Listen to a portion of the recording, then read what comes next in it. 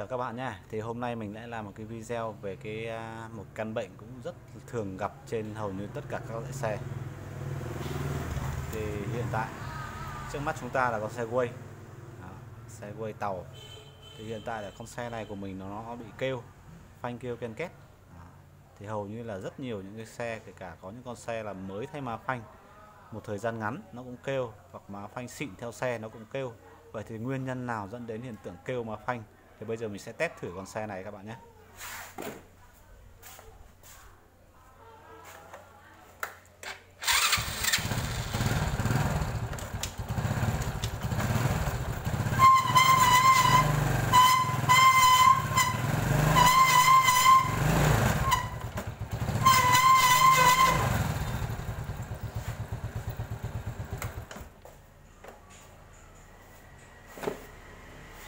Đó, con xe này hiện tại tiếng kêu rất là khó chịu kêu rất là to. Thì à, bây giờ mình sẽ hướng dẫn các bạn cách xử lý khắc phục căn bệnh này.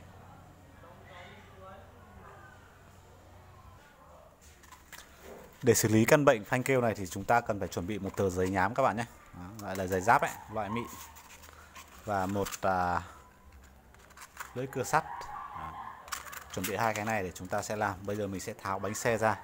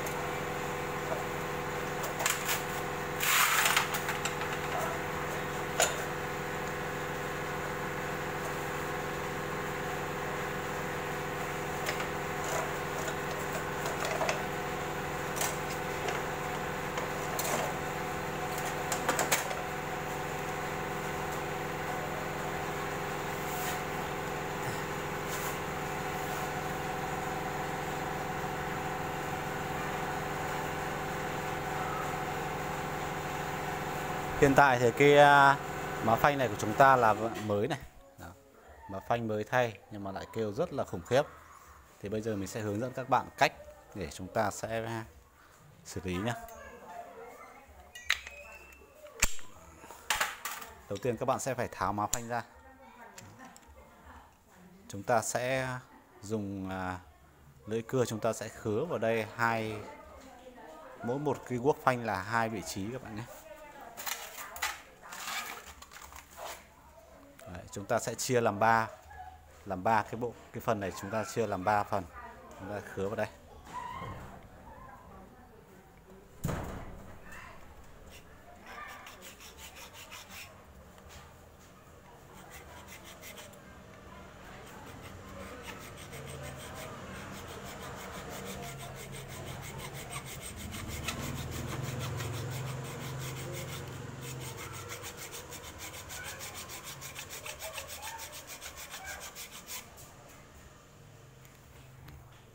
Các bạn nên khứa chéo nhé. Khứa chéo so với cái má phanh.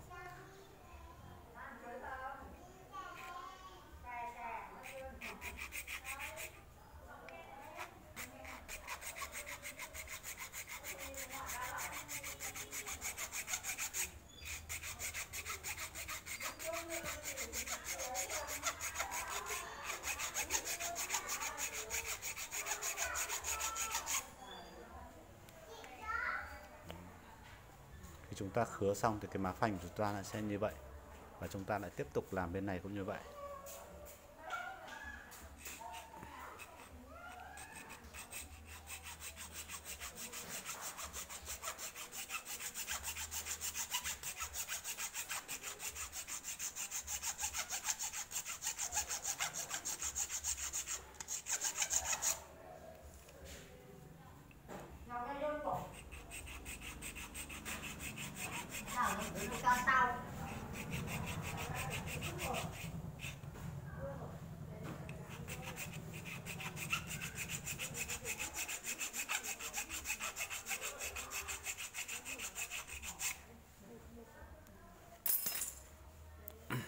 Sau khi mình khứa thì cái má phanh của chúng ta nó sẽ như vậy đó. thì à, tại sao mình phải khứa cái à, má phanh này ra thì như các bạn biết thì trên cái bề mặt má phanh này trong quá trình đi nó sẽ sinh ra những cái cái cái à, mài mòn nó sẽ sinh ra độ mài mòn và cái những cái mặt bụi phanh này nó sẽ bám ở trên bề mặt và khi chúng ta phanh nó sẽ đấy, cái cái lòng máy ơ chúng ta này nó sẽ ăn như vậy đó. thì cái à, bụi bẩn nó sẽ trôi vào những cái vị trí của những cái khe này mình vừa xẻ này thì nó sẽ bị động ở dưới này nó sẽ không bị bám ở trên bề mặt này nữa. Đó thì đấy chính là cái nguyên nhân mà tại sao mà má phanh mới chúng ta mà nó cũng vẫn cứ bị kêu các bạn nhé. Thì đây là cách để chúng ta xử lý bởi vì à, hiện tại con xe này khi má thì cũng không phải là để vẫn còn mới tinh luôn. Đó. mới thay chỉ một thời gian ngắn thôi. Nhưng mà tại sao má mới lại kêu như vậy? Thì thường là do cái chất lượng phíp có những đôi má phanh giờ chất lượng cho chất lượng phíp các bạn nhé. Chất lượng phíp mà kém thì nó cũng sẽ dẫn đến là hiện tượng kêu má phanh. Còn có những chiếc xe như là xe của Honda luôn. Đó, hàng xe mới tinh nhưng có những con xe cũng kêu phanh kêu ken két vậy thì tại làm sao mà cái xe chúng ta mới và má phanh xịn nó cũng kêu như vậy? Thì cái má phanh xịn của chúng ta nó cũng trong quá trình chạy thì nó cũng sinh ra những cái cái bụi bẩn. Đó. do cái má phanh chúng ta nó mòn ra và nó bám ở trên cái bề mặt và khi phanh chúng ta nó không bám hết mà nó sẽ sinh ra trượt. Chính cái hiện tượng là trượt má phanh. Và cái bụi nó nằm nằm ở giữa vị trí của má phanh và cái điểm tiếp xúc của cái lòng máy ơ thì nó sẽ tạo thành tiếng kêu. Thì đó chính là cái nguyên nhân và việc chúng ta khứa thế này để làm cho cái bụi nó sẽ trôi vào cái rãnh này. Nó không nằm ở trên cái bề mặt này nữa. Thì lúc đó xe chúng ta nó sẽ không bị kêu. Và khi chúng ta xử lý xong thì chúng ta cũng lên lấy cái tờ giấy giáp này. Đó, lấy ra mại mịn các bạn nhé. Đấy, chúng ta sẽ đánh sạch đi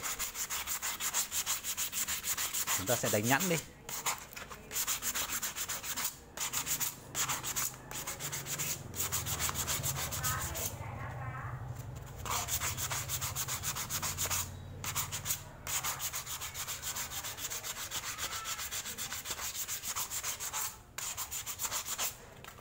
Khi chúng ta đánh sạch bề mặt này thì cái bề mặt này nó sẽ nhẵn và nó sẽ bám tốt hơn. Đó, nó sẽ có ma sát các bạn nhé. À, nó sẽ có ma sát bám tốt hơn và nó sẽ chúng ta sẽ phải thổi loại bỏ cái bụi bụi bẩn này. Và thường xe của chúng ta nếu mà xe xịn mới mà phanh xịn theo xe luôn và xe mới thì chúng ta cũng nên đi bảo dưỡng định kỳ để chúng ta loại bỏ những cái bụi bẩn và những cái à, à, dính ở trong lòng máy ơ. Đó chính những cái bụi bẩn này lòng ở trong lòng máy ơ làm cho xe chúng ta nó sẽ bị kêu mà phanh. Và sau khi vệ sinh xong thì mình khẳng định là xe chúng ta sẽ rất là êm. Bây giờ mình sau khi vệ sinh sạch chúng ta sẽ mình sẽ vệ sinh cả lòng máy ơ các bạn nhé.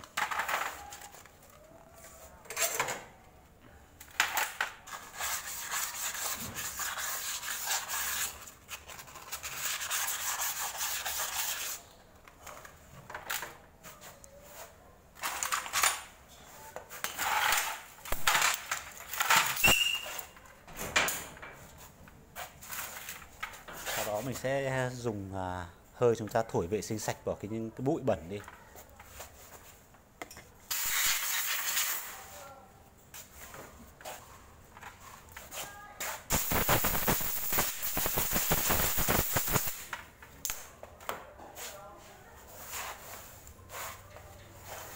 Sau khi vệ sinh sạch, chúng ta sẽ lắp vào.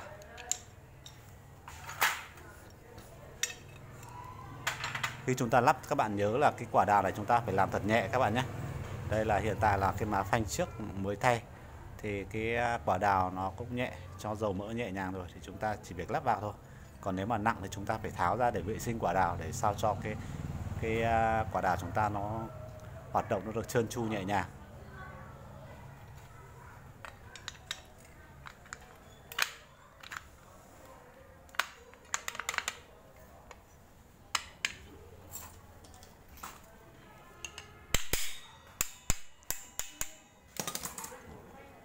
Sau khi chúng ta lắp vào chúng ta phải để ý các cái móc lò xo được móc đúng vị trí không bị trượt ra ngoài. Đó, sau đó chúng ta sẽ lắp vào.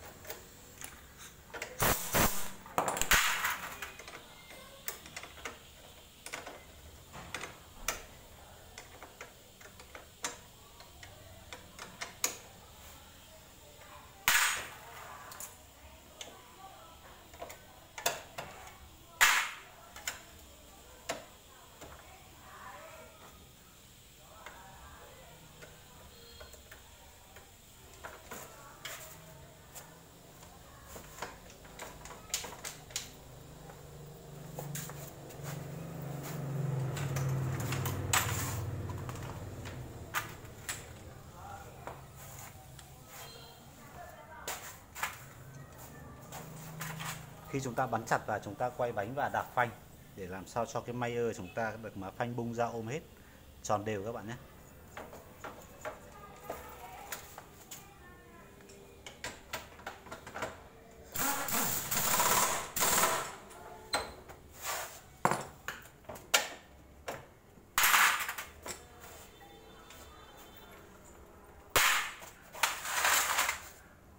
Sau khi lắp xong thì bây giờ mình sẽ test thử để cho các bạn xem xem là cái má phanh của chúng ta sau khi vệ sinh có ok không?